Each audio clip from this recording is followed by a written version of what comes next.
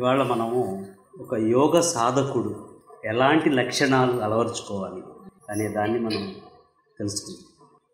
మొట్టమొదటిగా మనం తెలుసుకోవాల్సినటువంటి విషయం ఏంటంటే ఈ జీవితము ఒక వరం. మరి ప్రతి ఒక్కరూ ఈ యొక్క ఆలోచనతోనే ఉండాలి. అంతేగాని ఈ జీవితం ఎందుకు భగవంతుడు ఇచ్చాడు నాకు? ఈ జీవితంలో ఈ కష్టాలు అనుభవిస్తున్నాను నేను. ఈ బాధలు అనుభవిస్తున్నాను నేను అనేటువంటి భావన ఒక సాధకుడిలో కలగరాదు. నెంబర్ వన్ ఇది అద్భుతమైనటువంటి దేహాన్ని నేను పొందాను ఈ జీవితంలో. సో దీని ద్వారా నేను అద్భుతమైనటువంటి సాధనని కొనసాగించాలి. తర్వాత ఈ యొక్క జీవితము మన యొక్క ఆత్మ ఎదుగుదలలో ఒక భాగము అనేటువంటి ఆలోచనతో మనం ఉండాలి. చైతన్య పరిణామము కోసమే మనము ఈ భూమి మీద ఈ శరీరంతో జన్మ తీసుకున్నాం. ఇలాంటి జన్మలు గతంలో ఎన్నో తీసుకున్నాం అర్థమైందా? ఇకపైన కూడా తీసుకుంటాం. తీసుకుంటాం. ఇదంతా కూడా ఒక పరిణామ క్రమమే. ఒకటో తరగతి పిల్లవాడు డిగ్రీ పాస్ అవ్వాలి ఇంటర్మీడియట్ పాస్ అవ్వాలి యూనివర్సిటీ కోర్స్ చదవాలి ఇట్లా. అంటే ప్రతి జన్మ ఇంకొక జన్మకి మరి కొనసాగింపది. కొనసాగింపు. దేనికి అక్కడ ఫుల్ స్టాప్ లేదు ఇక్కడ? గుర్తుపెట్టుకోండి. ఈ జన్మలో ఒక ఫైవ్ పర్సెంట్ నాలెడ్జ్ పొందామనుకోండి జ్ఞానం మనం. ఈ ఫైవ్ పర్సెంట్ వచ్చే జన్మకి యాడ్ అవుతుంది. యాడ్ అవుతుంది. కేవలం జ్ఞానం మాత్రమే మనతో వస్తుంది. ఈ మిగతా ఏవి రావు? మిగతా ఏవి రావు మనతో? గుర్తుపెట్టుకోండి. శరీరం రాదు. అర్థమైందా? ఈ శరీరంతో వచ్చినటువంటి ఏవి కూడా మనతో రావు. వచ్చేదంతా ఏంటి? మనము ఈ శరీరంతో ఈ భూమి మీద ఏవైతే జ్ఞానాన్ని పొందామో ఆ జ్ఞానం మాత్రమే అంత వస్తుంటుంది. అంత వస్తుంది. మన మైండ్లో మనం పొందేటువంటి జ్ఞానం అంతా ఇమిడి ఉంటుంది ఎప్పుడు. ఓకే? ఈ జ్ఞానము నెక్స్ట్ జన్మకి కొనసాగింపు మాత్రమే. సో ఇలా ప్రతి జన్మ గడిచే కొద్దీ మనము అద్భుతమైనటువంటి జ్ఞాన విస్తరణ జరుగుతూ ఉంటుందన్నమాట. జరుగుతూ ఉంటుంది. తర్వాత ఈ యొక్క జీవితాన్ని జీవితంలో ఉండేటువంటి మాధుర్యాన్ని మనము పొందేందుకే ఇక్కడికి వచ్చాము అని తెలుసుకోవాలి. జీవితంలో ఉన్నటువంటి ఆ మాధుర్యాన్ని మనం అనుభవిస్తూ ఉండాలి ప్రతి క్షణం. ప్రతి క్షణం అనుభవిస్తుండాలి అంటే ఆ దుఃఖంలో కూడా ఆ- ఆ టేస్ట్ మనం తీసుకుంటూ ఉండాలి. గుర్తుపెట్టుకోండి. అంటే తీపిని చేదుని రెండింటిని ఆస్వాదిస్తూ ఉండాలి ఎప్పుడు. అబ్బా ఇది చేదబ్బా ఇది వద్దులే. ఇది పుల్లనబ్బా ఇది వద్దులే. ఇది తీయగుంది భలే ఉంది తిందాం. అది కాదు అది కాదు జీవితం. చూసారా? అంటే కొట్టేటువంటి భార్యని ఏకంగా తీసుకోవాలి పొగిడేటువంటి అత్తగారిని ఏకంగా తీసుకోవాలి. అది అక్కడ మా అల్లుడు మంచోడబ్బా అంటుంది అత్త. మా ఆయన పనికి మళ్ళీ ఆయన అంటుంది భార్య. అర్థమైందా? అంటే ఇద్దరిని నువ్వు సమానంగా తీసుకోగలగాలి. ఇది ఆస్వాదించడం అంటే. ఇది ఆస్వాదించడం అంటే. పచ్చడన్నమైన పరమాన్నమైన ఏకంగా తీసుకోగలగాలి. ఇది ఆస్వాదించడం అంటే. చూసారా సో కాబట్టి ప్రతి క్షణము కూడా ఈ జీవితంలో ఉన్నటువంటి మాధుర్యాన్ని నేను అనుభవించేందుకు ఈ భూమి మీద జీవితం గడుపుతున్నాను నేను. రకరకాల రుచుల్ని నేను అనుభవిస్తున్నాను నేను.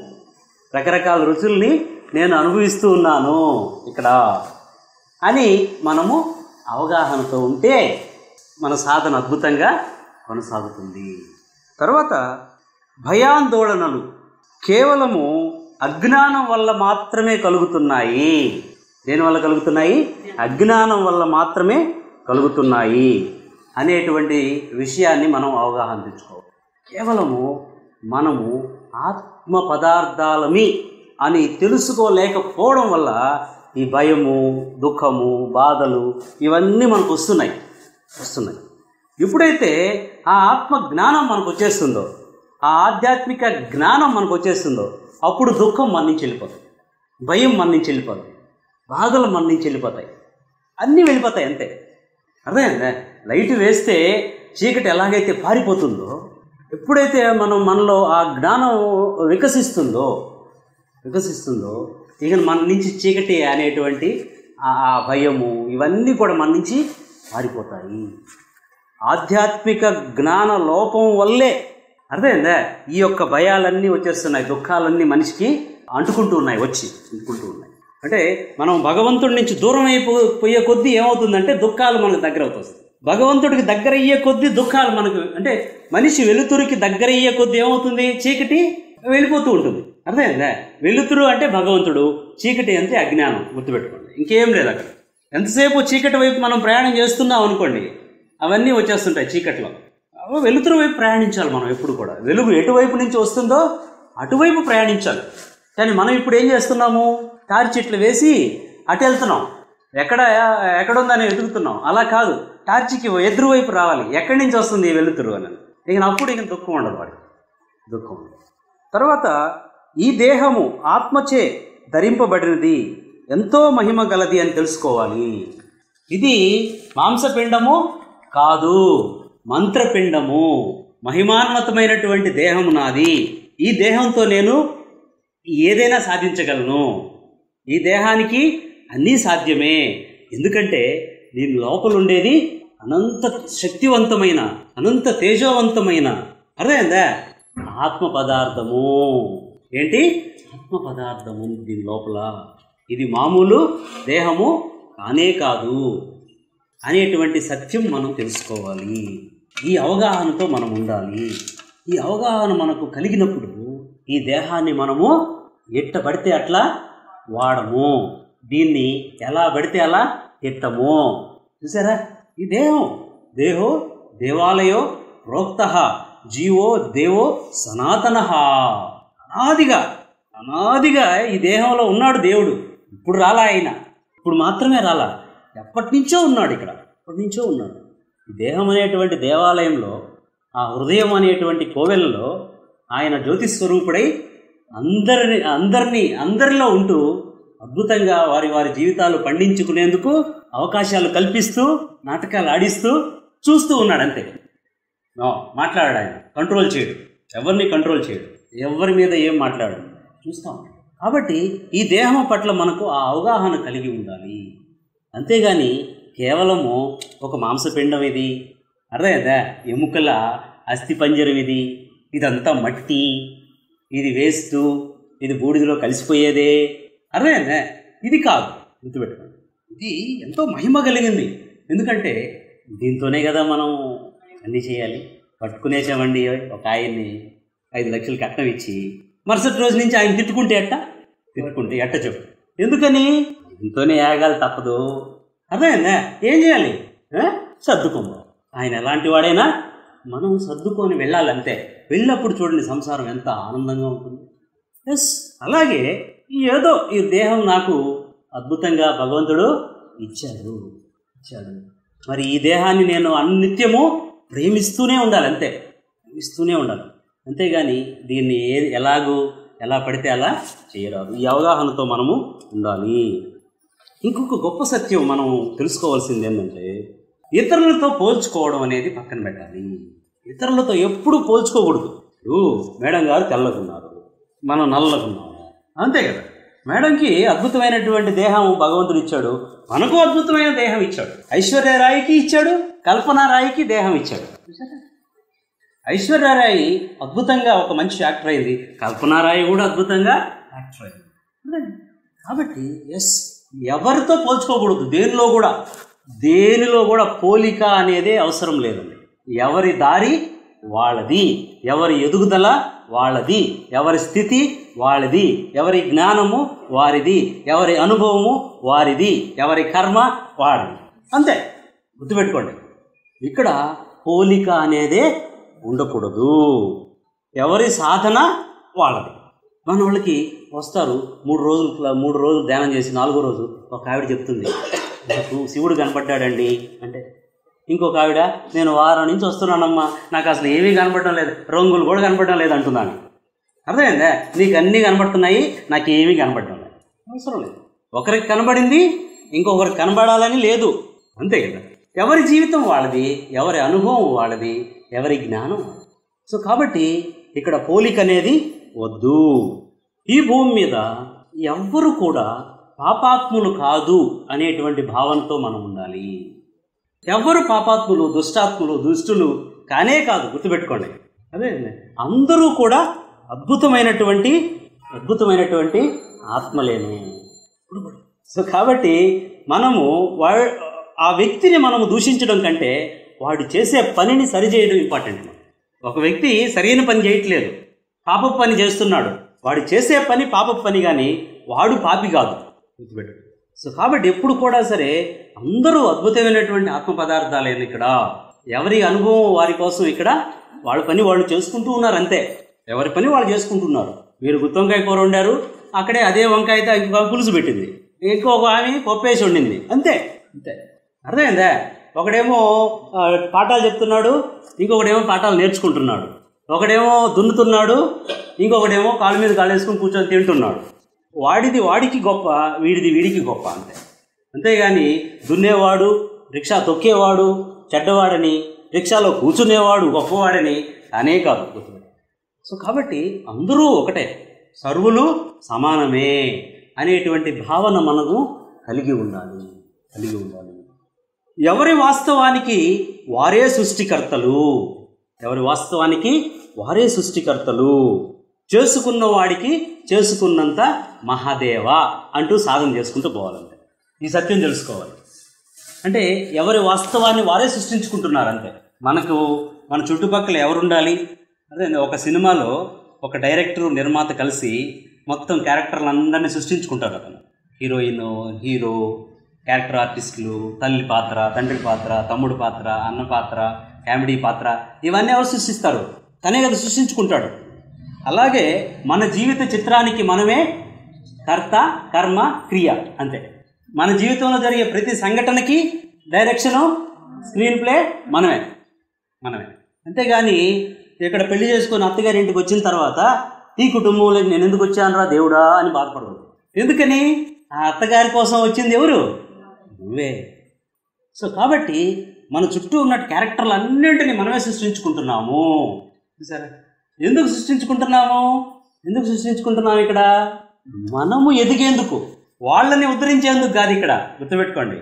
మనము ఎదిగేందుకు ఎలాగైతే ఒక ఇనుపు చువ్వ చువ్వ బాగా కాగిన తర్వాత ఇద్దరు ముగ్గురు దాన్ని సమిటితో కొడతా ఉంటారు. కొట్టే కొద్దీ ఏమవుతుంది అది? మనకి ఎలా కావాలో అలా మల్ మ- అలా మలుస్తూ ఉంటుంది. కాబట్టి ఆ అత్త తిడుతున్నా అర్థమైందా? ఆయన కొడుతున్నా పిల్లలు పిల్లలు మాట వినుకుంటా ఉన్నా ఇదంతా ఎవరు? నేనే. బా నా ఎదుగుదలకి నా బిడ్డలు మా అత్తగారు నా భార్య నా మా ఆయన ఎంత సహకరిస్తున్నారో వాళ్ళందరికీ థ్యాంక్స్ చూసారా? ఎప్పుడైతే మనకి ఈ ఆలోచన వచ్చేస్తుందో మనం ఎదుగుతాం అవతల క్యారెక్టర్స్ అన్నీ మారిపోతాయి. ఇప్పుడు. ఖచ్చితంగా మారిపోతాయి ఈ ఆలోచన రానన్ని రోజులు రానన్ని రోజులు అవి జరుగుతూనే ఉంటాయి. మనలో ఆ మార్పు వచ్చేయాలి. సాధన చేసి చేసి నేను తెచ్చుకున్నాను అని మనం తెలుసుకోవాలి.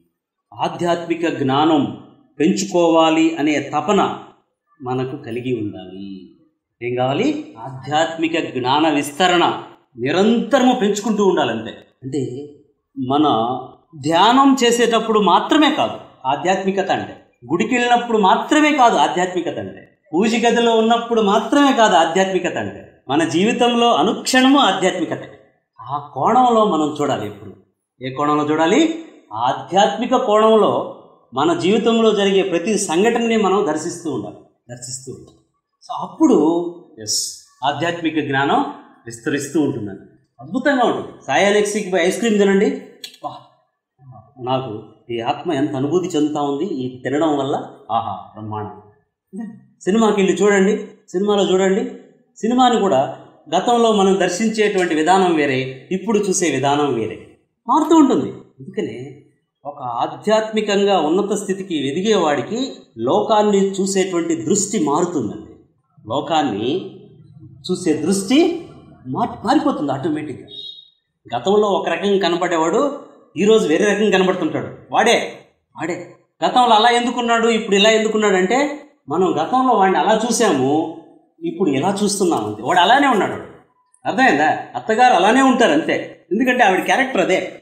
కానీ మనము దర్శించేటువంటి విధానము మారుతుంది. అర్థమైందా? అప్పుడు ఆవిడ అన్నటువంటి ప్రతి మాట అమ్మ అన్న మనకు అది ఒక తిట్టులాగా వినిపిస్తుంది. ఇప్పుడు అమ్మ అంటే ఓ తన తల్లి పిలిచినట్టుగా ఫీల్ అవుతుంది. అంతే. ఇది ఆధ్యాత్మిక కోణం అంటే ఇంకేం లేదు. ఇంకేం లేదు. మన జీవితంలో జరిగేటువంటి ప్రతి సంఘటనని కూడా ఆ ఆధ్యాత్మిక దృష్టితో మనము చూసే కొద్దీ మన జ్ఞాన విస్తరణ పెరుగుతూ ఉంటుంది. ఆధ్యాత్మిక జ్ఞానం మనకు అందిస్తూ ఉంటుంది. ప్రతి దగ్గర నుంచి నేర్చుకోవాలి. అప్పు ఇచ్చిన వాడి దగ్గర నుంచి నేర్చుకోవాలి. అప్పు ఎగ్గొట్టిన వాడి దగ్గర నుంచి నేర్చుకోవాలి. ఇది జ్ఞానం అంటే ఇది జ్ఞానం అంటే. తర్వాత ఈ యొక్క అపరిమితమైనటువంటి ప్రేమను కలిగి ఉండాలి. అపరిమితమైనటువంటి ప్రేమని మనము అనుక్షణము ప్రదర్శిస్తూ ఉండాలి. అందరి పట్ల. అందరి పట్ల. చూసారా ఒకవేళ ఇది మనలో లేకపోతే ప్రయత్నపూర్వకంగా అయినా తెచ్చిపెట్టుకోవాలి. ప్రయత్నపూర్వకంగా అయినా దాన్ని తెచ్చిపెట్టుకోవాలని తప్పదు. ఎందుకంటే ఇది ఒక అద్భుతమైన గుణం సాధకుడికి. మన సాధన అద్భుతంగా కొనసాగాలి అని అంటే అర్థమైందా? మన బిడ్డల్ని ఎలాగైతే ప్రేమిస్తున్నామో మన సంసారాన్ని కుటుంబాన్ని ఎలాగైతే ప్రేమిస్తున్నామో అలాగే సమాజాన్ని కూడా ప్రేమించాలి ప్రేమించాలి. మన పరిస్థితుల్ని ప్రేమించాలి. అలా ప్రేమించలేకుండా ఉన్నాము అని అంటే ఆధ్యాత్మికంగా ఇంకా ఎదగాలి మనం అని అర్థం. ఇంకా సాధన చేయాల్సి వస్తుంది అంతే ఇంకేం లేదు. సో ఒకవేళ ఆ ప్రేమ మనలో లేకపోతే ప్రయత్నపూర్వకంగా అయినా తెచ్చి పెట్టుకోవాలంతే. ప్రయత్నం ఇప్పుడు ఎవరో ఒక పని మనిషి వచ్చిందండి. పని మనిషి వచ్చింది పని చేసింది. మనం ఆకేం చేస్తాము? రాత్రి మిగిలిన అన్నము ఆవిడకి పెడతాం. ఫ్రెష్గా వండుకున్న అన్నము మనం తింటాం. గుర్తుపెట్టుకోండి ఇది కాదు ప్రేమ. అప్పుడు తెచ్చిపెట్టుకోవాలి. అరే ఆహా ఇప్పుడు వండిన అన్నం ఆమెకు పెట్టాలి కదా. ఇది తెచ్చిపెట్టుకోవాలంట. తెచ్చుకోవాలి. ఎప్పుడైతే దీన్ని తెచ్చుకుంటూ ఉంటామో తెచ్చుకుంటూ ఉంటామో ఒక రోజుకి అది మనలోకి వచ్చేస్తుంది. వచ్చేస్తుంది. ఎప్పుడైతే అది మనలోకి వచ్చేస్తుందో అప్పుడు మనం ఇంకొకరికి ఇస్తాం దాన్ని. మనలోకి రా రాబట్టుకోకుండా మనం అలవరుచుకోకుండా మనం ప్రయత్నించకుండా అర్థమైందా? మనం అమలు చేయకుండా దాన్ని ఇంకొకరికి ఇవ్వడం అంటే కష్టం. ఇది కష్టం. అది సరిగా ఉండదు. సరిగా ఉండదు అంతే. గుడ్డివాడు దారి చూపించినట్టు ఉంటుంది. అంతే కదా? సో కాబట్టి ఆ ప్రేమని మనం అనుభవిస్తూ దాన్ని ఇతరులకి మనము పంచాలి. పంచాలి. తర్వాత మన ఆధ్యాత్మిక పురోగతి కేవలం మనకే కాదు. మనం ఆధ్యాత్మికంగా ఎదుగుతున్నాము అని అంటే కేవలం మనం ఒక్కరమే ఎదగడం లేదు. గుర్తుపెట్టుకోవాలి. ఇది చాలా మనం తెలుసుకోవాల్సిన విషయము ఇది తెలుసుకున్న తర్వాత మనం పరిగెడతాం అంతే. మనము ఎదగడం వల్ల మన చుట్టూ ఉన్నటువంటి మానవ జాతి సమస్తము ఎదుగుతూ ఉంది. మన చుట్టూ ఉన్నటువంటి జంతు జాతి సమస్తము ఎదుగుతూ ఉంది. మన చుట్టూ ఉన్నటువంటి పక్షి జాతి సమస్తం ఎదుగుతూ ఉంది. మన చుట్టూ ఉన్నటువంటి వృక్ష జాతి సమస్తం ఎదుగుతూ ఉంది. మన అందరము నివసిస్తున్నటువంటి ఈ భూమి ఎదుగుతూ ఉంది. మన కుటుంబంలో బిడ్డ బాగా చదివి గొప్ప ఉద్యోగం సంపాదించి డబ్బంతా సంపాదిస్తున్నాడు అనుకో. అర్థమైందా కేవలం వాడు వాడి బిడ్డ ఎదుగుతుంటారా? వాడు సంసారం మొత్తం ఎట్లా ఉంటుంది? అద్భుతంగా ఉంటుంది. తద్వారా వాళ్ళు ఏం చేస్తుంటారు? ఆ ఊరికి మంచి సేవలు చేస్తూ ఉంటారు. భౌతికంగా మనం చూసినట్లయితే మరి ఆధ్యాత్మికంగా మనం ఎదుగుతూ ఉన్న కొద్దీ ఆ పక్షి జాతి మీద ప్రేమను మనం కురిపిస్తూ ఉంటాం అనుక్షణం. అదేలే ఆ- ఆ వృక్షరాజ్యం మీద మనకు ప్రేమను కురిపిస్తూ ఉంటాం. మనందరము కూడా గుర్తుపెట్టుకోండి ఫ్రెండ్స్ ఒకరినొకరు అనుసంధానించుకుంటూ ఒకరినొకరు సహకరించుకుంటూ ఈ భూమి మీద ఎదుగు- ఎదుగుతూ ఉన్నాం. జంతువులు లేనిదే మనిషి లేడు. మనిషి లేనిదే జంతువులు ఈ జంతువులు మనుషులు ఇద్దరు ఉండాలంటే చెట్లు ఉండాలి. ఒకరినొకరు సహకరించుకోవాలి తప్పదు. ఈ జంతు జాతిని మొత్తం నిర్వీర్యం చేస్తూ పోయామనుకో చేస్తూ పోయామనుకో ఒక రోజుకి మనిషి కూడా ఉండడు. గుర్తుపెట్టుకోండి. ఇది వాతావరణం యొక్క సమతుల్యం. ప్రకృతి తనను తాను సమతుల్యం చేసుకుంటూ ఉండాలి ఎప్పుడు. బ్యాలెన్స్ చేసుకుంటూ ఉంటుంది. జంతు జాడ్యం తగ్గిపోయింది అని అంటే సునామీ వచ్చి మనుషులు కొట్టుకెళ్తారు. కుక్కలు గాడిదలు ఆవులు మేకలు ఇవి బతుకుతాయి అక్కడ. మనుషులు మాత్రం వెళ్ళిపోతారు. కారణం ఏంటి? ఓహో జంతు జాతి తగ్గిపోతుంది. మనిషి జాతి విపరీతం పెరిగిపోతుంది కాబట్టి ఇవి కూడా బ్యాలెన్స్ చేయాలి. అర్థమైందా? సో కాబట్టి మన శరీరం లాగే ప్రకృతి అండి గుర్తుపెట్టుకోండి. మన శరీరము ప్రకృతి ఒకటే. ఎప్పుడు మన శరీరంలో అన్ని బ్యాలెన్స్గా ఉంటేనే ఈ- నాటకం అద్భుతంగా జరుగుతూ ఉంటుంది. ఈ పంచధాతువులు ఏదైతే ఉన్నాయో మన శరీరంలో అర్థమైందా? ఇవన్నీ సమానంగా ఉండాలి ఇప్పుడు. అన్నీ సమానంగా ఉండాలి. నీరు ఎక్కువైనా నీరు ఎక్కువైపోయింది అనుకో ఏం చేస్తాం? డాక్టర్ దగ్గర పరిగెత్తాం. అగ్ని ఎక్కువైనా పరిగెడతాం. గాలి ఎక్కువైనా ఆయాసం ఆయాసం తట్టుకోలేకపోతున్నా పరిగెత్తు డాక్టర్. ఏది ఎక్కువైనా సరే. అందుకని మన శరీరంలో శరీరంలో ఉన్నటువంటి నిర్మాణం చూడండి. తనది కానిది ఏది తన దగ్గర ఉంచుకోదండి. ఏదో ఒక రూపంలో దాన్ని బయటికి నెట్టేస్తుందండి అలాగే ప్రకృతి కూడా. భూమాత అనుక్షణము తనను తాను బ్యాలెన్స్ చేసుకుంటూ ఉంటుంది. చేసుకుంటూ ఉంటుంది. ఈ క్రమంలోనే వచ్చేటువంటి వైపరీత్యాలని మనిషి అర్థం చేసుకోగలిగితే అర్థం చేసుకోగలిగితే అప్పుడు అద్భుతంగా ఎదుగుతాడు. చేసుకోలేదనుకో. ఇప్పుడు మన ఇంట్లో చెడుముళ్ళు ఉన్నాయి ఒంట్లో అనారోగ్యం ఉంది ఆ- కష్టాలు ఉన్నాయి బాధలు ఉన్నాయి ఇవన్నీ ఎందుకు వస్తున్నాయి అని వాడు అర్థం చేసుకుంటే అవి వెళ్ళిపోతాయి. వెళ్ళిపోతాయి అంతే. వాడు అర్థం చేసుకోలేదు దాన్ని ఎగుతూనే ఉన్నాడు అనుకో అవి అట్టే ఉంటాయి. అలాగే భూమి కూడా ఎప్పుడు కూడా ఈ ప్రకృతికి ఉన్నటువంటి గొప్ప విషయం అదే. సో ఈ యొక్క సత్యాన్ని తెలుసుకొని మనము సాధనని కొనసాగిస్తూ ఉంటాం. నేను ఎదగడం వల్ల నా చుట్టూ ఉన్నటువంటి సర్వ మానవాళి కూడా ఇది నిరంతరం ఎదుగుతూ ఉంది. ఎదుగుతూ ఉంది. మనందరము కనెక్ట్ అయి ఉన్నాం. ఆ సర్వాత్మ చేత ఈ జీవాత్మలన్నీ కనెక్ట్ అయి ఉన్నాయి. ఈ జీవాత్మలన్నీ కనెక్ట్ అయి ఉన్నాయి. ఒక్కడు ఎదిగాడు అనుకో ఆటోమేటిక్గా వీళ్ళలో కూడా చైతన్యం మా వచ్చేస్తుంది అనమాట మారుతూ ఉంటుంది. మారుతూ ఉంటుంది. సో ఈ సత్యం మనము తెలుసుకొని సాధన కొనసాగించాలి.